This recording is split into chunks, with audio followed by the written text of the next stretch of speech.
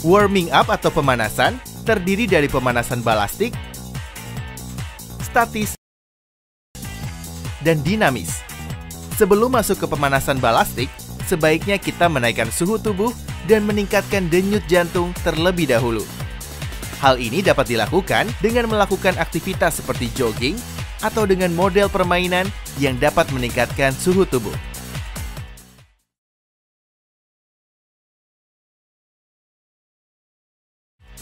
Setelah suhu tubuh dan denyut jantung meningkat, kita bisa masuk ke tahap pemanasan yang pertama, yaitu balastik. Pemanasan balastik diawali dengan menggerakkan kedua lengan.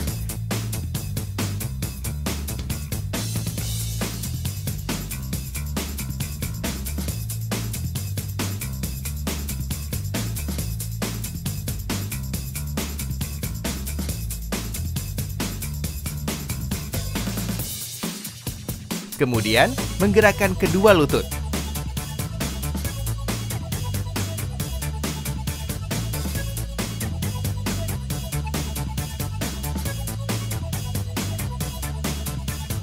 Gerakan ankle ke depan dan ke belakang.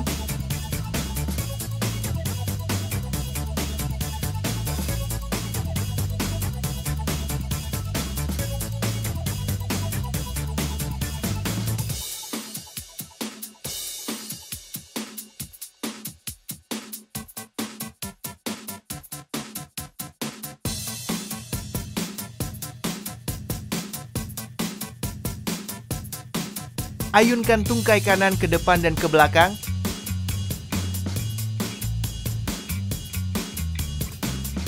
Lakukan sebaliknya.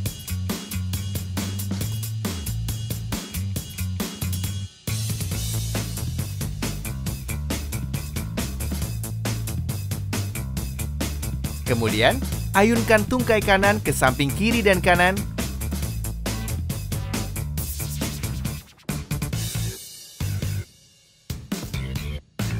Lakukan sebaliknya. Semua gerakan dilakukan secara perlahan dalam hitungan 16 sampai 30 kali.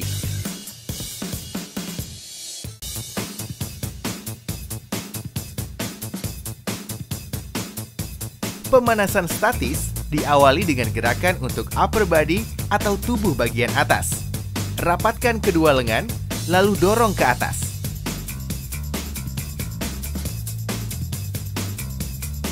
Ke depan.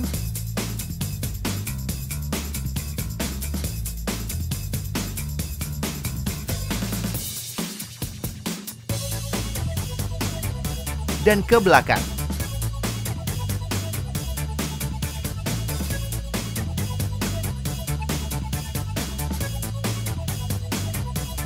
Masih dengan gerakan yang sama, rapatkan kedua lengan, dorong ke atas dan liukan ke samping kanan.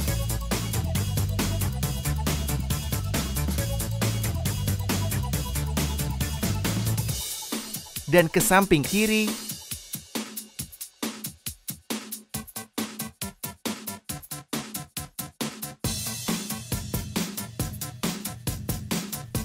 Tekuk lengan kiri di belakang kepala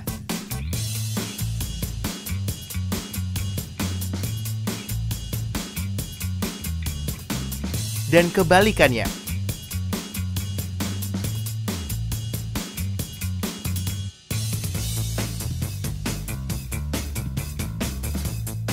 Lengan kiri diluruskan ke samping kanan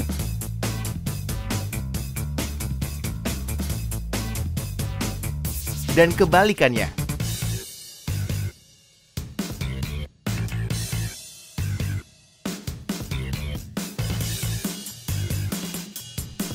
Kemudian rapatkan kedua kaki, tundukkan badan, usahakan kedua lengan bisa menyentuh lantai.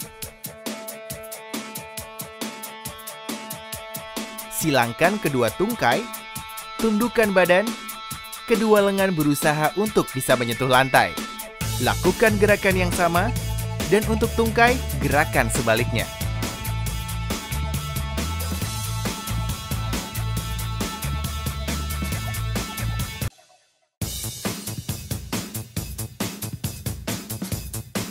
Kemudian, gerakan lower body atau tubuh bagian bawah.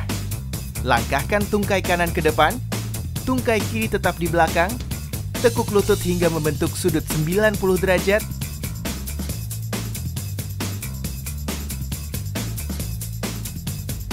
dan lakukan gerakan sebaliknya.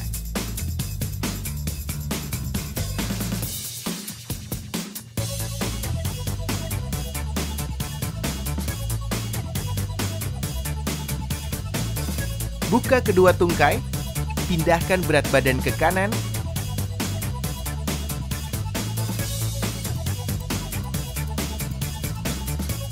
Setelah hitungan selesai, pindahkan berat badan ke kiri.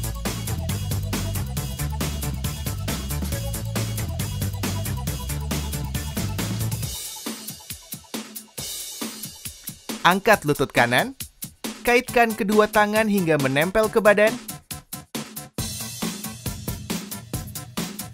Gerakan sebaliknya.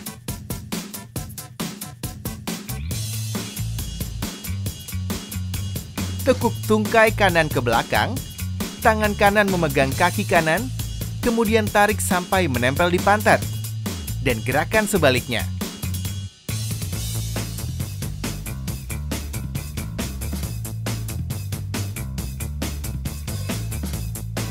Angkat kaki kiri dengan posisi seperti sikap sila pegang kaki kiri dengan kedua tangan, dan gerakan sebaliknya.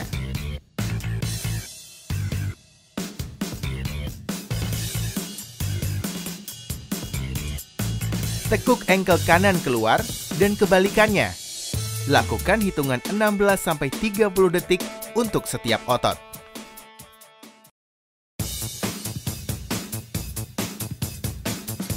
Pertama, gerakan kedua lengan Tekuk kedua lengan di depan dada, kemudian rentangkan. Gerakan dua kali di depan dada, kemudian dilanjutkan dua kali rentangkan dua lengan dengan hitungan 16-30 kali. Kedua, posisikan lengan membentuk huruf I, lengan kanan lurus ke atas dan lengan kiri lurus ke bawah. Gerakan dua kali ke belakang dan kebalikannya. Ketiga, Posisikan lengan membentuk huruf S. Lakukan dua kali gerakan ke samping dan kebalikannya.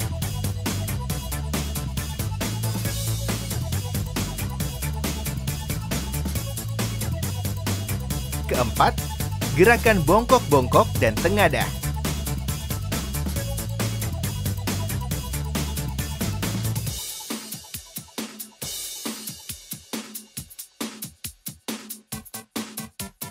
Kelima, gerakan cium lutut samping kanan kiri.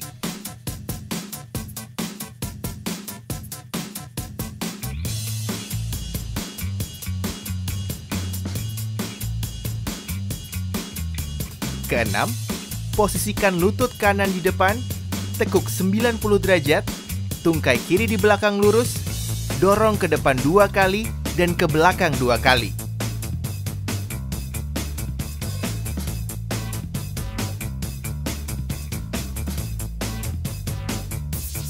Ketujuh, buka tungkai lebih lebar dari bahu. Pindahkan berat badan ke kanan dua kali dengan menekuk lutut kanan dan kebalikannya. Kedelapan, gerakan ankle ke depan dan ke belakang.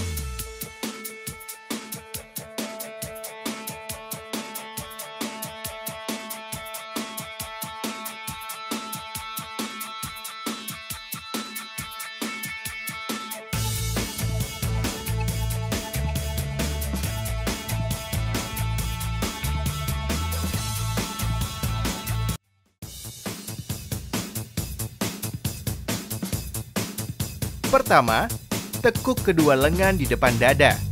Langkahkan tungkai kanan ke depan, kemudian tekuk hingga membentuk sudut 90 derajat. Di saat yang bersamaan, lutut kiri ditekuk sedikit ke bawah.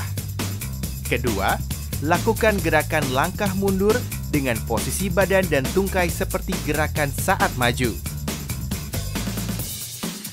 Ketiga, rentangkan kedua lengan, lakukan langkah seperti gerakan pertama. Saat lutut turun, putar pinggang ke kanan dan ke kiri.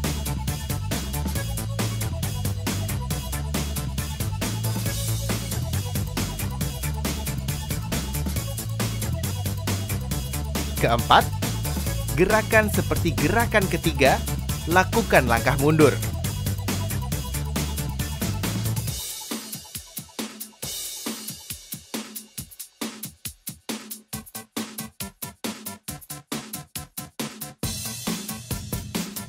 Kelima, gerakan seperti gerakan pertama.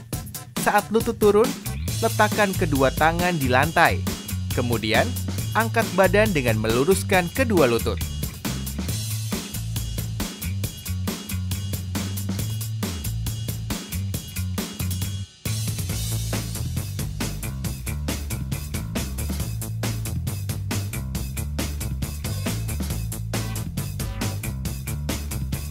Keenam, kedua tungkai lurus rapat, letakkan kedua lengan di lantai. Berusaha gerakan lengan ke depan sampai seperti posisi push up. Kemudian, dengan tungkai tetap lurus, gerakan tungkai mendekati tangan. Usahakan tumit menyentuh lantai.